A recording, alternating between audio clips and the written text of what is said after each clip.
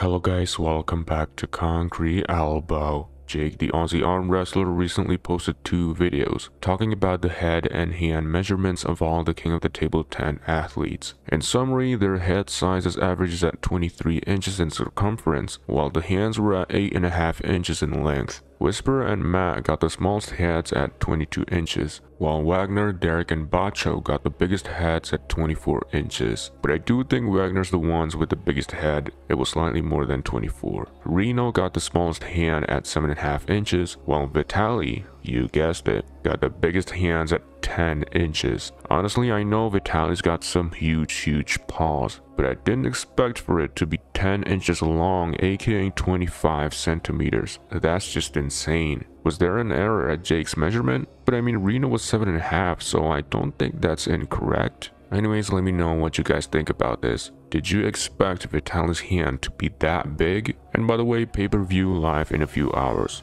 Purchase links in the description below.